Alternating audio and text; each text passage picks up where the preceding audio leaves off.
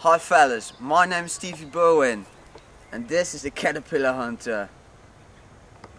Today we're at a nice heath of Ermelo where you can find a lot of creatures, a lot of insects like caterpillars and stuff where we are looking for. But also a lot of uh, heat plants at this heath are adapted to the hot, um, yeah, dry summers but they can also stand uh, cold winters here in Holland. But uh, humans influence this area by dumping trash and stuff like this. Like this piece of cotton and this piece of paper. Bajane Sinica. We're going to catch this kid. Kiddo, if you're watching, throwing trash on this beautiful heath is not cool. Uh, its habitat is influenced by humans because uh, our factories cause enormous um, acid rainstorms and stuff like that which damage the trees where this little fella lives in. Wait, I'll pick it up. Oh, this is a large one, look. Whoa. Oh, it's so oh, it's oh, it's climbing up my other finger. Whoa, whoa. Look out.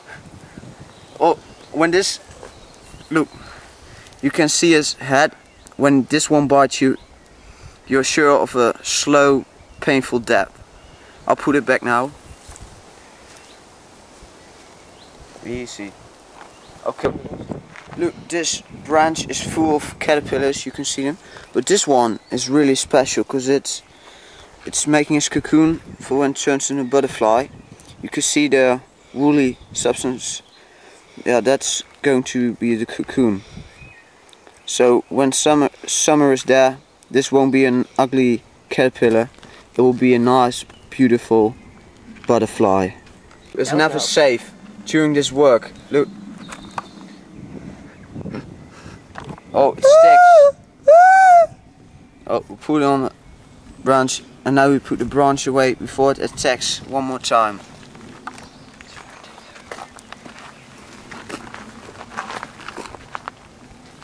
Okay, we'll just leave it there. In these forests you can find a lot uh, of human influences. Actually this forest is one big human influence because most of these trees are planted by humans. Also, uh, also the big trees like, if we go over here, this tree is like 30 years old. It's also planted by humans.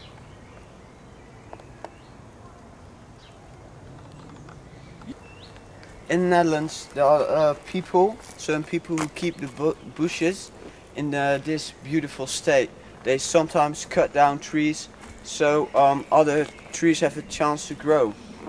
So that's really important and that keeps these bushes in a real nice state. These trees are really important for their own food because the, the leaves they drop and fall, this is from a year ago, one, two and a half years ago. When you go deeper, you get more soil like this. This is more like five to ten years old. So they make their own food by decomposition.